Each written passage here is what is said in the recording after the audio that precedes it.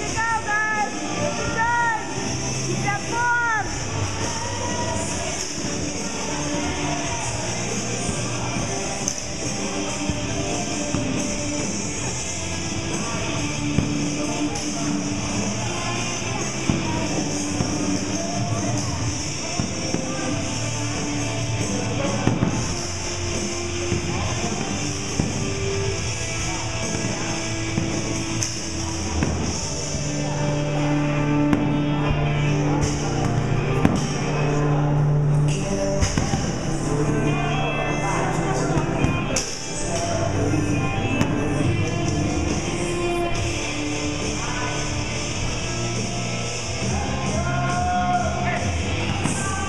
business that when you come to the city,